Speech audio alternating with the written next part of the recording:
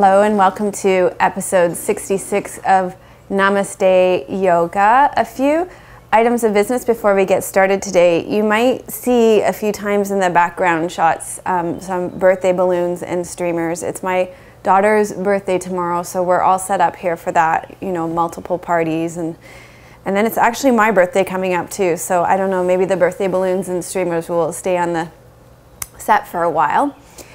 Um, I have something really exciting that I want to share with you. We're going to be running a pilot program where I can do private yoga sessions with you via Skype over the internet. So for that, what you need is a video cam and a free Skype account. And then we would do the private Pilates class, private yoga class, or Pilates, I teach Pilates too, um, via webcam.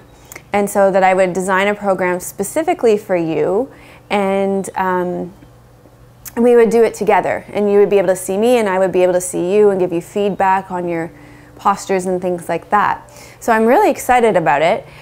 But we've nobody's really doing anything like this, and nobody's done anything like this before. So we're looking for two or three volunteers who have a video webcam and a free Skype account with video that would be willing to try it out for us and who would like to receive a private yoga class with me. If you're interested, uh, you can email me at info, I-N-F-O, at melissawest.com. That's M-E-L-I-S-S-A west.com. So as I say, I'll be taking two or three volunteers. I'll be doing the first two or three classes, uh, privates for free, just while we get the kinks worked out and see if this is even something that's going to work well. So if you're interested, do email me and I will pick two or three lucky volunteers to receive a private class and private instruction from, from me. Okay, which brings us to today's class. We're working, um, we're on episode 66. We're working through the chakras and their archetypes. We've already done the root chakra and Mother Earth archetype. We did the second chakra and the goddess archetype. We worked with Lakshmi, the goddess of abundance. And this week we're working with the third chakra, the solar plexus here just above your navel. In this chakra, we're working with the warrior archetype. So we're going to access our inner power, our inner strength in this class, and really feel it in our bodies, the sense of poise we're going to work with, and, and access our spiritual warrior. So why don't you go ahead and rest back, lie back on your back in Shavasana, and we'll get started. The solar plexus, that part of your body just above your navel has to do with your self-worth and your own personal power. It's through this energy center that you become self-respecting, decisive, and um, connected to your values so that you really honor who you are. It is the archetype of the spiritual warrior.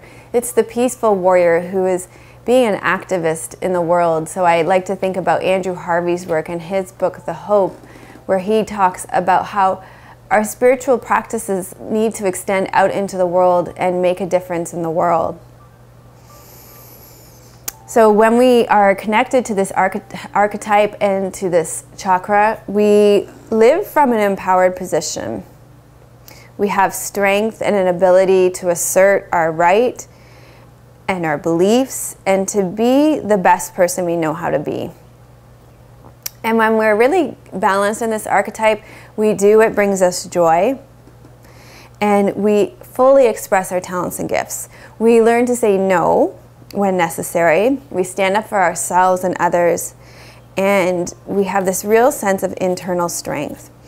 And so I wanted to read a little excerpt for you from Sri Chinmoy's book, The Jewels of Happiness. So you might want to just zoom in on this book so they can see this book. Sri Chinmoy is a spiritual teacher and a meditation teacher. He died in 2007, but he wrote some of the most beautiful poetry and prose that I've read. I'll often sit with some of his readings um, before I do my meditation practice in the mornings. You can find his poems on the internet at uh, poetseers.org, I believe. So I highly recommend that. And today I'm going to read you an excerpt called The Source of Power. Sri Chinmoy says, The real power lies in inmost silence. If you want to know how you can remain peaceful while doing something powerful, then I wish to say that you have to understand the meaning of the word powerful. Power means the poise of one's inner being, one's soul. If you have a free access to your inner being, to your soul, then automatically your outer action will be peaceful. You do not have to raise your hands and show off your outer capacity. Here, there is no dramatic performance. If you are acquainted with what you inwardly have and inwardly are, if you have free access to your inner being, then automatically you taste the bliss of silence. And if you taste the bliss of silence in your outer action, you will all the time be peaceful. Powerful action is the result of inner poise. And I love this phrase, poise and inner poise. And this is what we're going to be working to cultivate in a kinesthetic and embodied way in our class today so that we can experience this on all other layers of our being in our lives. This powerful action is not a dynamic force or something that is seen in the movement itself. No, it is only in the silent equanimity, in the very heart of silence, that you get this power. Excuse me. If you feel this power and enter into it, then everything around you is peaceful. Poise is an unseen power, and this unseen power is always ready to come to the aid of the outer action. And so today we will work with this idea of poise and connecting to that sense of internal lift to give us that inner strength in a kinesthetic and embodied way so that we can carry this with us emotionally, mentally, out into our world. So go ahead and wiggle and stretch out, but do stay lying on your back. We're going to start by connecting to our core strength.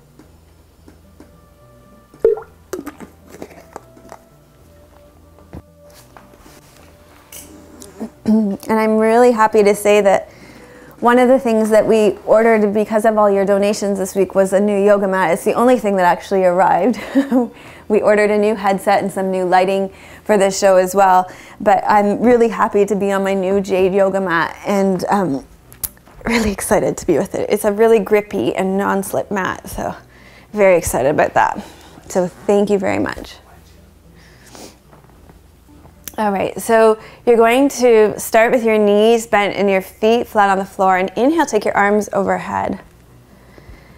And while you do that, just breathe in and breathe out. And I want you to think about dropping your rib cage here. So dropping and sinking through your rib cage. And then breathe in.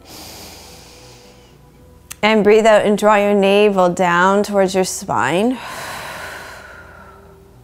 and breathe in and breathe out and lift up through your pelvic floor. So your pelvic floor for women, there's a sling of muscles, a figure eight of muscles that run around your vagina and anus. So you're gonna think about drawing these up and inside you, pulling more from the front, from the pubic bone than from the back. The other way that both sexes can think about this is drawing your pubic bone and your tailbone closer together. And then for the for the men in, that are taking the class, the way I've heard it described for men is it's like lifting up the boys.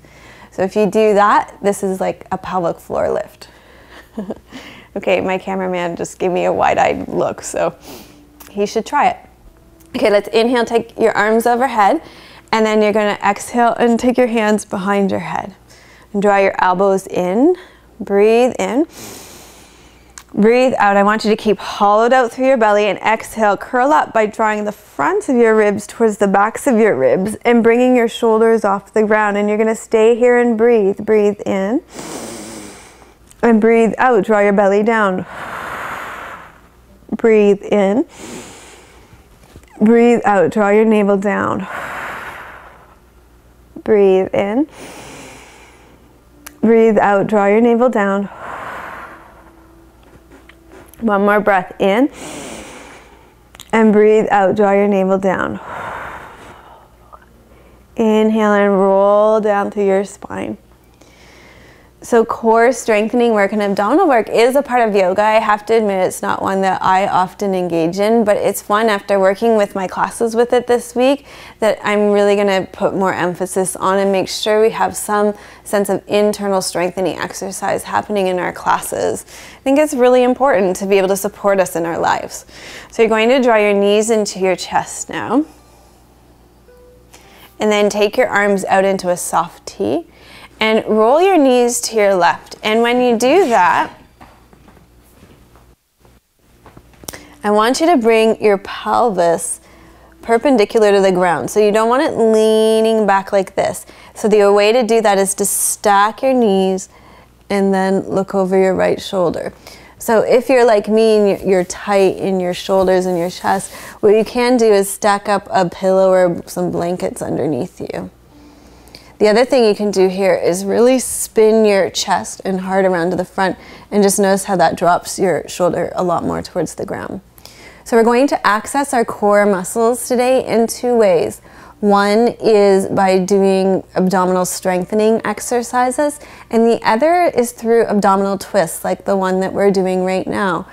When you do twists, it helps to you know, promote the internal fire. So the solar plexus is related to the element fire.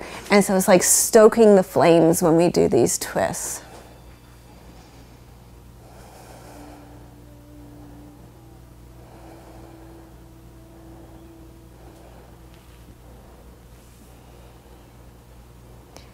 then inhale, bring your knees back center. Okay, and exhale, slowly lower them over to the other side. Okay, so again, stack up your knees and your hips. And then roll open here.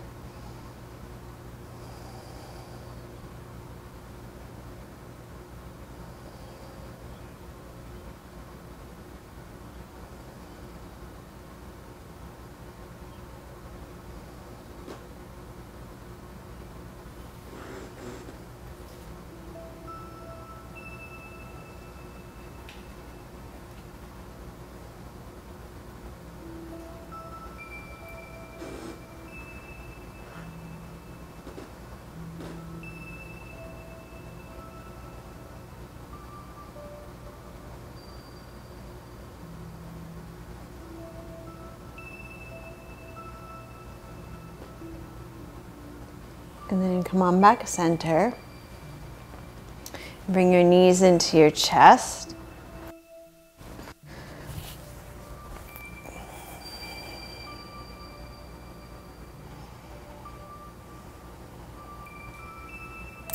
And then lengthen your legs out onto the ground so that your legs are straight. Your heels are in the center of the ground.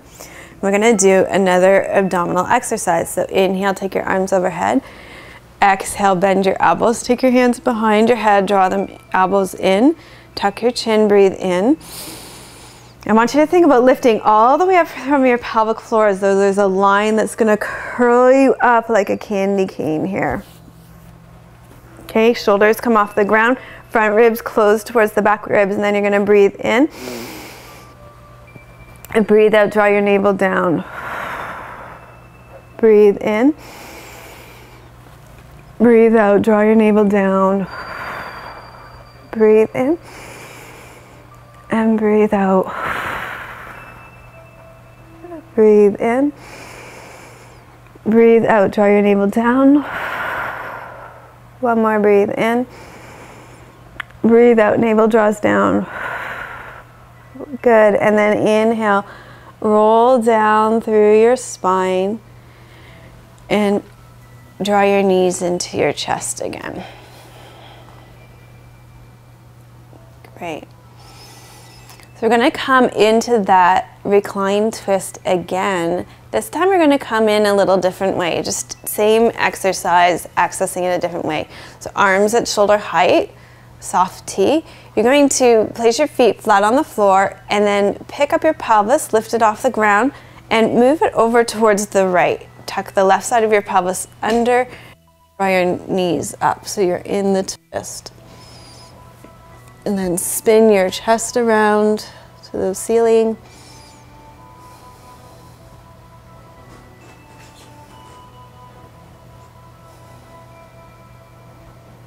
and get a sense of accessing that place right in the center of your body, right in your core.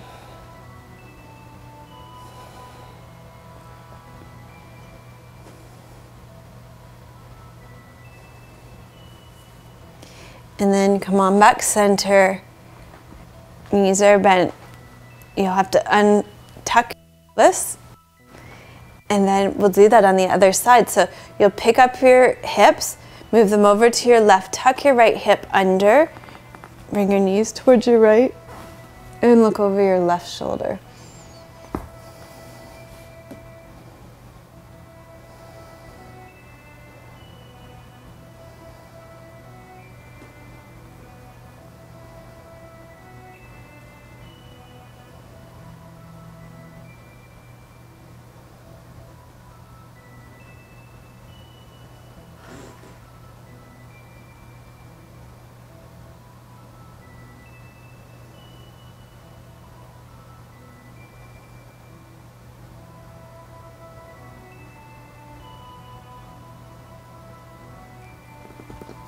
Then bring your legs back center. Okay, draw your knees to your chest. Just excuse me while you're doing that. I'm going to have some more water. I didn't drink enough water before I came on today.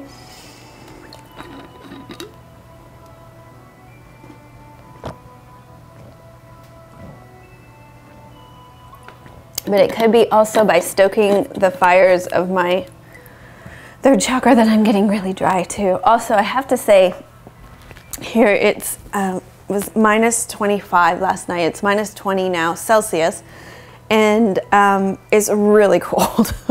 we actually had the pipes freeze in our house last night, so we had the propane torch going this morning to, to thaw out the pipes. So it's if it's over minus 20 in your neck of the woods, then you're a lot warmer than we are here today. So it's very dry because the heat's on a lot right now. All right, so your arm, your legs are at a 90 degree angle. And so I've just done everything I possibly could to reinforce the stereotype that Canada is a very cold country all the time. it's January, it's very cold in January here. okay, so your arms, you could keep them out to the side in a soft T for some extra stability. And then lift up through your pelvic floor so you have that sense of internal strength or poise, as Sri Chinmoy says. And what you're gonna do is you're gonna slowly arc your leg down to the ground. So notice how the angle of my leg stays the same. It's almost like it's just on a pulley system here. And then you'll breathe out and arc the other leg down. So this is a great option if you have any low back issues. You're gonna stay with this bent knee arc. Exhale to lower. And it's yoga because we're breathing while we do it. Breathe in to lift. Breathe out and slowly lower and breathe in and lift. So let me present you with another option if you'd like it to be more challenging. If you had any low back issues, then you're gonna stay with the bent knees. Otherwise, you can join me here. Exhale, straight leg arc to the ground. And inhale and draw that straight leg up. Slow and steady, moving with breath. Exhale, slowly arcing down. And inhale, arcing up. Exhale, slowly arc down. Inhale, arcing up. You can probably see all that shaking as all those stabilizers are firing out to support my core. Inhaling up. Let's do two more each side. And inhale, lift. Exhale. Inhale, lift. And one more each side.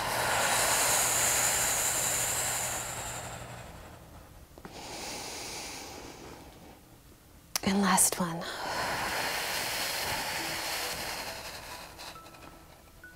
Inhale and lift. Great, and then hug your knees into your chest. Maybe rock yourself from side to side.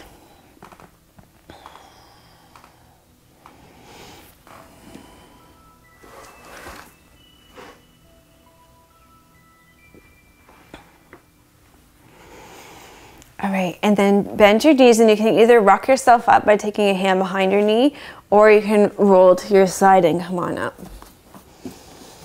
And when you come up, we're going to do some cat pose. So you can take your hands underneath your shoulders and your knees underneath your hips. Elbow creases face each other, and then breathe out and round up through your back. And breathe in an arch in the other direction. And as you breathe out, really draw up from your navel and your solar plexus area. Breathe in and open and feel stretch out as well.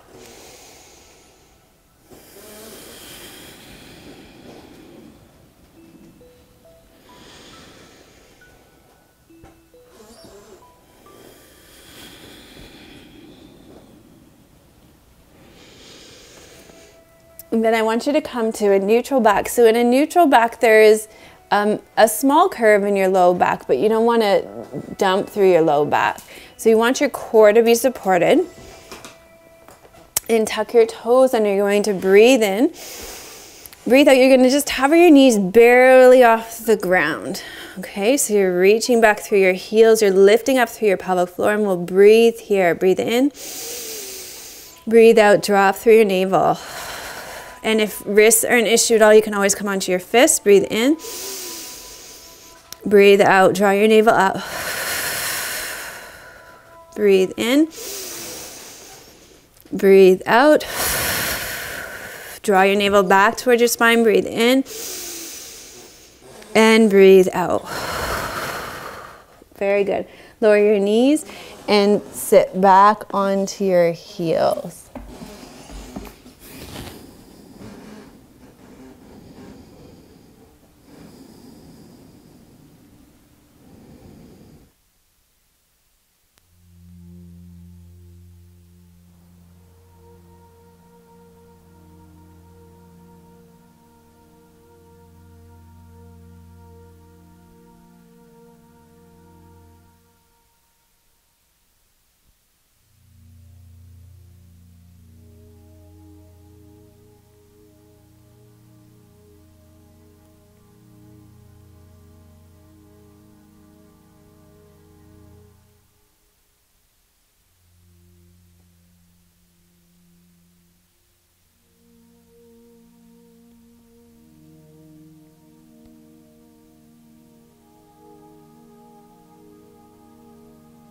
Okay, inhale up onto all fours and walk your left leg through so you're in a lunge pose.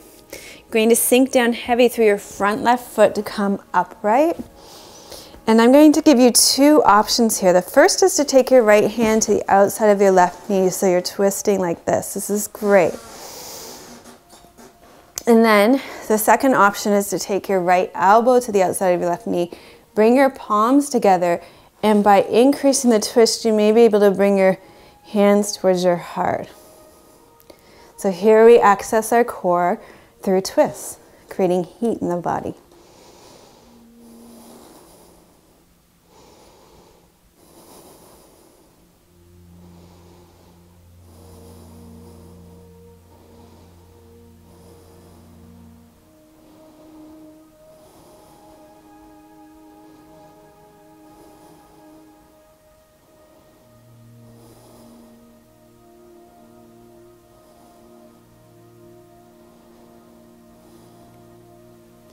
And then inhale and come back center. Switch your legs. So you're walking your right leg through into the lunge. And then sink down through your front right foot to come upright into the lunge. And so again, the two options. One is to take the left hand to the outside of the right knee and twist in a more upright position. And the second option is to take your left elbow to the outside of your right knee and bring your palms together.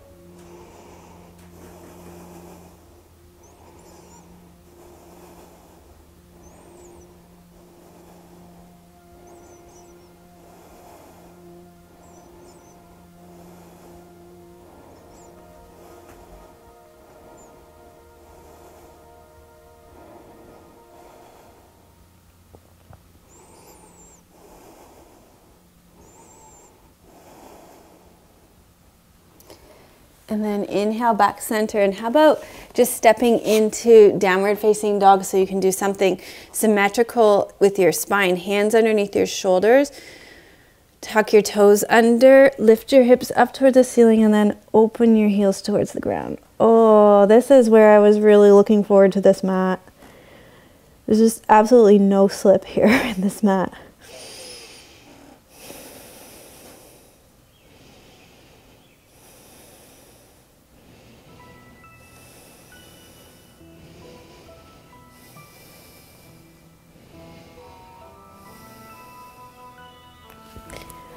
Okay, and then slowly lower yourself down and bring your legs around in front of you. So let's work with Dandasana here uh, as a way of preparing for the modified boat poses that we're going to do in a second. So sit with your legs out in front of you. Now, when you sit, I want you to lift and move the flesh back another way so you can really connect your sit bones to the ground and lengthen your spine straight up and down. So hopefully I'm doing this with a nice straight back here. Okay, what can tend to happen here is that what's very common, especially if the hamstrings are tight, is that it pulls the sit bones under and people are sitting more like this with a rounded spine. And then your core is not really working at all here. And it's not a very good position for the spine to be straight up and down because it's not. So lift and peel the flesh out of the way Lengthen your spine straight up and down. Okay, and this is the position, this really straight back that we're going to work with for these modified boats. Okay, so bend your knees and place your feet flat on the floor. And take your hands straight out in front of you. Now breathe in, straight spine. Tendency here is going to be to do that rounding. If that rounding happens, you will not access your core at all. So a lot of internal work has to happen for you to access your core, your power, your inner strength. Lift up through your pelvic floor, draw your navel back, breathe in, breathe out. You're going to hinge back through your hips and pause here. So shaking is normal here. Breathe in, breathe out. Drop through your pelvic floor, hollow your belly back. Breathe in and breathe out. Breathe in, breathe out. Breathe in. Breathe out. One more breath in. And breathe out. Good. And then hinge forward. Open your knees and sit forward. Great. Okay, so we're going to do two more versions of that.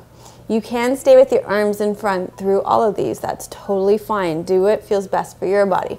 Sometimes people's low back will feel a little sore in these poses. That's pretty normal, probably some weakness in, in your low back.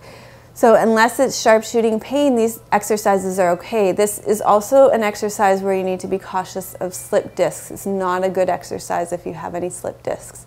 So stay away from it if that's the case for you. Um, so lift up nice and tall, but I did have a student this week with bulging disc, and anything that strengthens the core is really good for bulging disc. It's just the slip disc, not so good. Okay, so you can inhale here.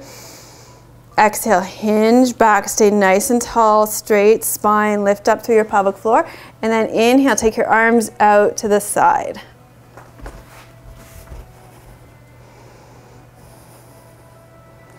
So a little more challenging this time.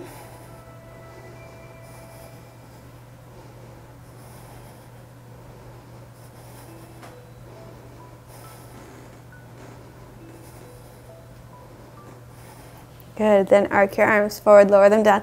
And this time, let's just sway your knees from side to side.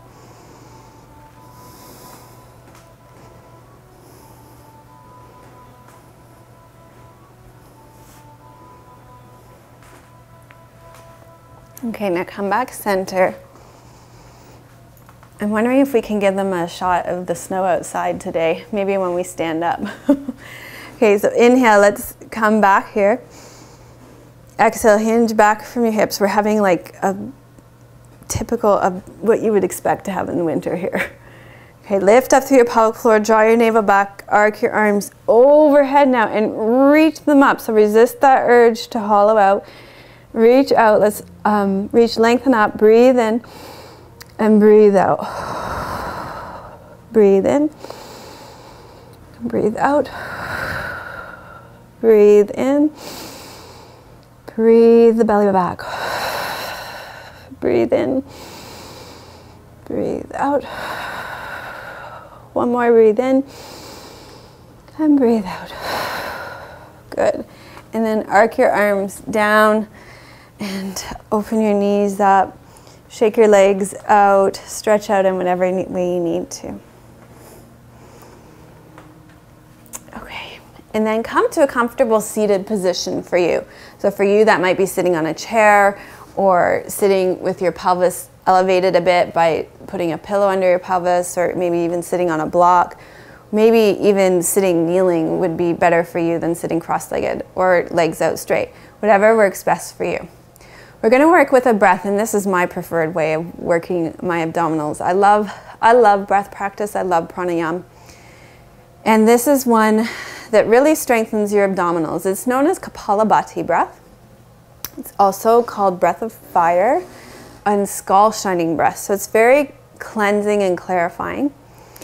And it's one of those breaths that takes a little bit of time to get used to. It's maybe a little strange at the beginning, but um, well worth it.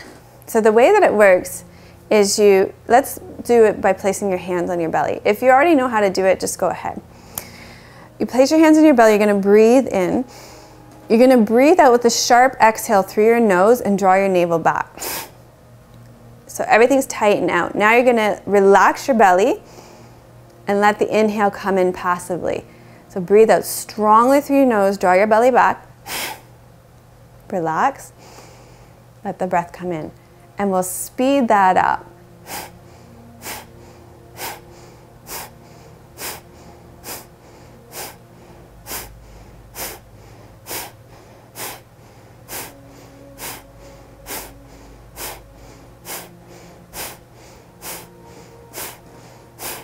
So full inhale and full exhale. Okay, so it's an active exhalation through your nose, drawing your belly back, then relax everything. Inhale comes in like a vacuum passively through your nose. Strong, strong exhale through your nose. So this is kind of a fake it till you make it breath. So just do it, do your best and you'll you'll get there. The main action is that the navel's drawing back. Okay, let me tell you how we're gonna finish our next round of Kapalabhati. We're gonna do about 40 breaths. And then when we're done, we're gonna inhale completely, exhale completely, and then we'll inhale part way and hold the breath. Okay? This breath is a great energizing breath. If you have high blood pressure, you wanna be cautious with it, that it's not raising your blood pressure too much because it is a a breath that raises your blood pressure. When we do that breathing at the end, it helps to equalize it. So just be cautious with that depending on your own health conditions. Okay, so here we go. Full inhale, then Kapalabhati breath.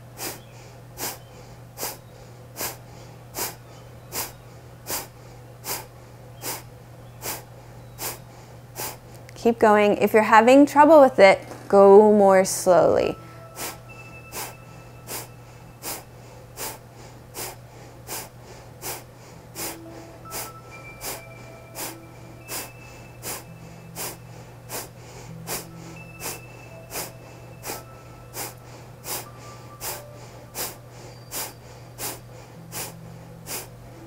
Full inhale.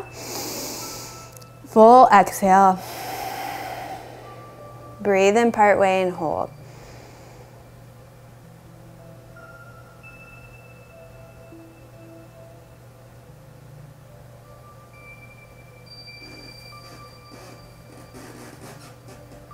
And even here, you can lift up through your pelvic floor, draw that energy up your spine, and then exhale when the need is great. Good. Okay, let's do another round of Kapalabhati. This time we'll do it a little bit more quickly. So full inhale. Here we go.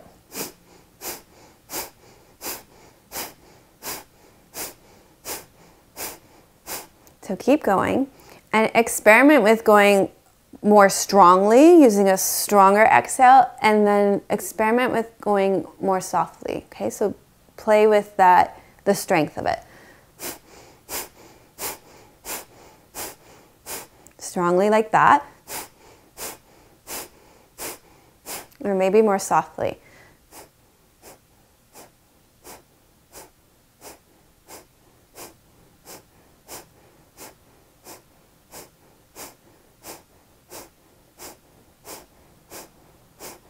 keep going. You can experiment with speeding it up.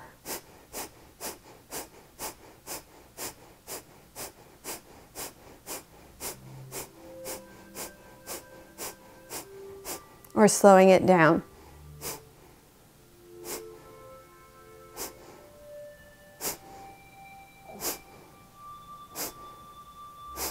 So play around with the speed.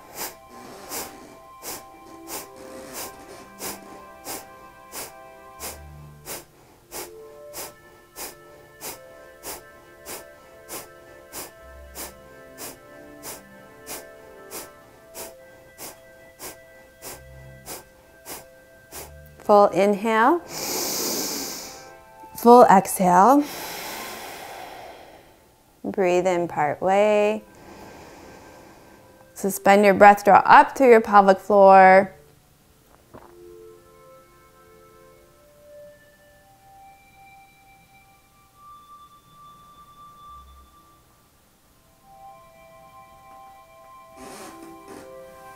And exhale when the need is great. So I was just thinking because I was working with some prenatal clients yesterday, this isn't probably a breath that I would do with prenatal clients. It's not to say that if you didn't do it before you were pregnant that you couldn't do it. Definitely the holding the breath part would be contraindicative to pregnant women. Um, so always want to keep, keep the um, breath going to the baby so you wouldn't want to ever cut off the flow of oxygen to the baby. Okay, from here we're going to come up to a standing position. Stand towards the front of your mat. We're going to do the warrior poses because we're working with the third chakra and the warrior archetype. So I love the warrior poses and what they stand for symbolically. You're going to take a big step back with your right foot, a nice generous step and your right toes are on an angle. And then turn your hips towards the front of your mat. Now, if this really torques your back knee, then you can always come up onto the ball of your foot here. That would be totally fine. And then from here, sink down through your front left sit bone so that your front left knee is bent and bring your arms up. There's warrior one. So the warriors are the spiritual warriors. And here, spiritual warriors face their problems head on.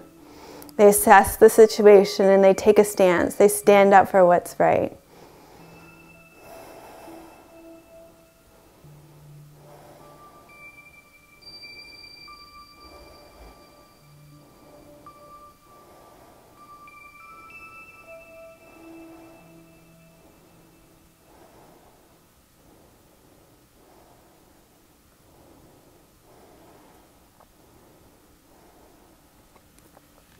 And you can feel that strength of your warrior in your legs when you work with the warrior postures. So let's do this pose on the other side. You're going to take a generous step back with your left foot. So the distance between your two legs is about the distance, uh, about the length of one of your legs. So we just got a knock on the door here. Maybe that's our lighting or our headset coming, arriving. Okay, so turn your hips to face front. And then you're to sink down through your front right foot, front right knee, and come upright for warrior one on the other side.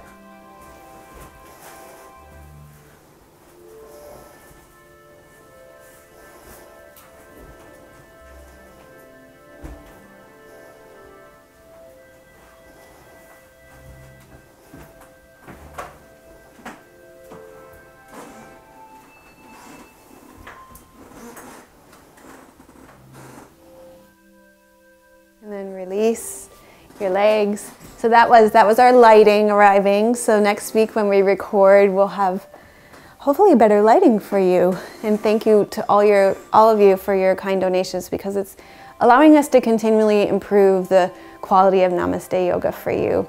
to be able to do these classes in your own home for free every week. So thank you so much for all of you who have donated. It's very much appreciated. Okay, let's do warrior two. Take a generous step back with your right foot and turn your hips so that they face the long edge of your mat. So this is actually a conversation that you have to have with your hips and your knee. If your hips turning this way really brings your knee in, then you always choose your knee being right over your ankle versus being turned in, okay? Always choose knee first. Always look after your knee. And then you'll bend your front left knee and bring your arms up parallel to the ground. Turn your head to look over top of your left fingertips. In Warrior Two, we take all our wisdom and learning and experience from the past. We stand present in our present moment and we create a vision for our future. And so, again, it makes me think of Andrew Harvey's work, The Hope. And he says that with your spiritual practice is not enough, that we need to go out into the world. So, gone are the days. When I first started taking yoga, we used to kind of withdraw from the world. It was if we if you could find a cave in India to practice in, then that was a good deal. And now in the culture of yoga, we're really wanting to go out into the world and make a difference in the world. So we become at peace with ourselves and then we go out and we make peace in the world.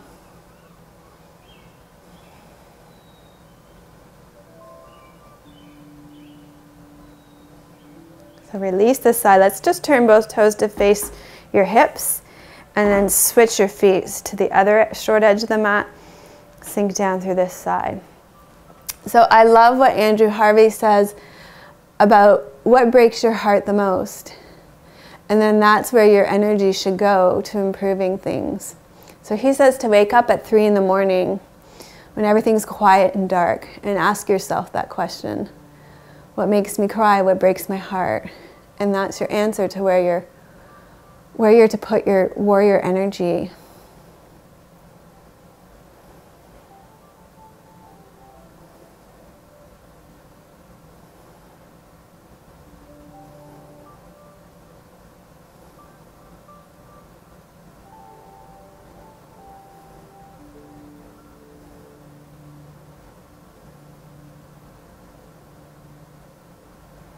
Okay, and then release and walk your feet in.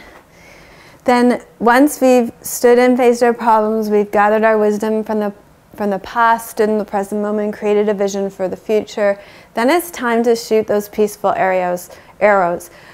So we come to warrior three. Stand in Tadasana and take your arms straight overhead. And then you'll tip yourself forward. Okay, I'm not quite sure how much space I have around me here. And this is a great core strengthening exercise too. So think about drawing up through your pelvic floor, get that sense of inner poise here.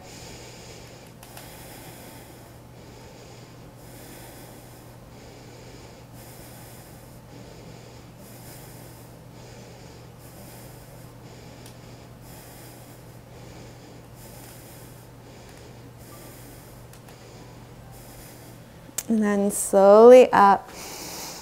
Shake out your legs. And let's do this on the other side. So standing up nice and tall. Roll your shoulders back and down. Inhale, lift up. And then exhale, you'll hinge from your hips forward. Coming into warrior two, warrior three, sorry, Virabhadrasana three on the other side.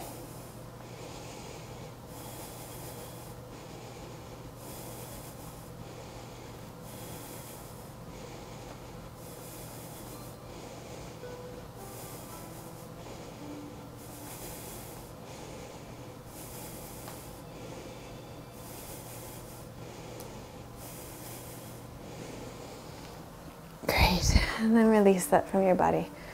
Whew. So you'll probably notice that we create a lot of heat in our bodies when we're doing these postures. Five minutes left? Wow, really? you're getting lucky. I had lots more planned for you, so you're getting off a little easy on account of time here. Okay, inhale, reach your arms overhead And then you're going to exhale, hinge from your hips comes forward, bend your knees.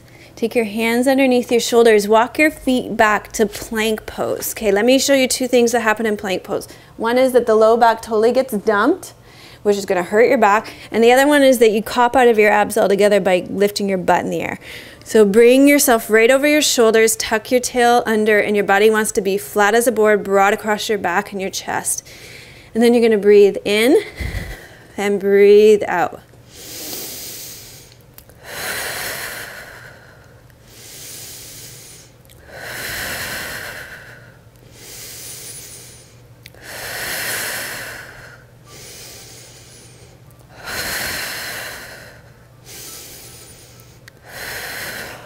Good. And then lower your knees and sit back on your heel stretch.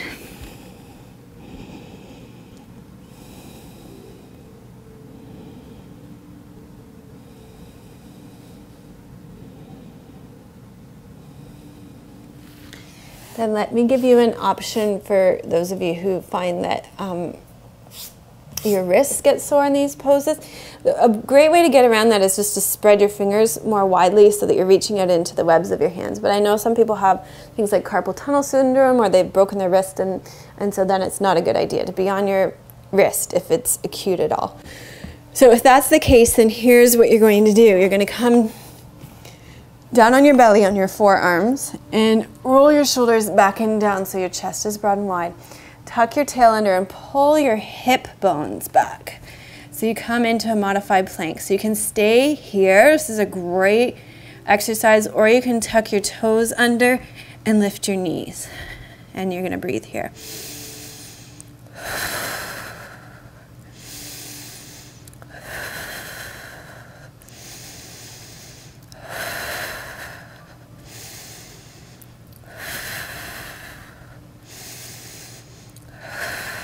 And then lower your knees, draw your knees up underneath you, and sit back on your heels.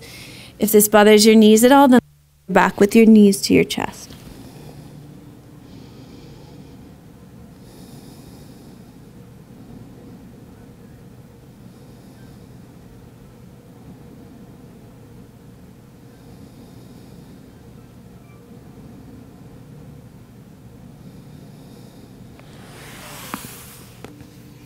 Okay, roll up through your spine and then rest back on your back for Shavasana. I'm going to finish today by reconnecting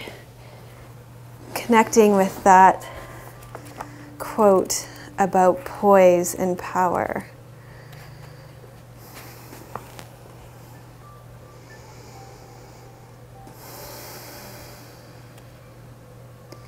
The real power lies in inmost silence. If you want to know how you can remain peaceful while doing something powerful, then I wish to say that you have to understand the meaning of the word powerful. Power means the poise of one's inner being, one's soul. If you have a free access to your inner being, to your soul, then automatically your outer action will be peaceful. You do not have to raise your hands and show off your outer capacity. Here, there is no dramatic performance. If you are acquainted with what you inwardly have and inwardly are, if you have free access to your inner being, then automatically you taste the bliss of silence. And if you taste the bliss of silence in your outer action, you will all the time be peaceful. Powerful action is the result of inner poise. This powerful action is not a dynamic force or something that is seen in movement itself.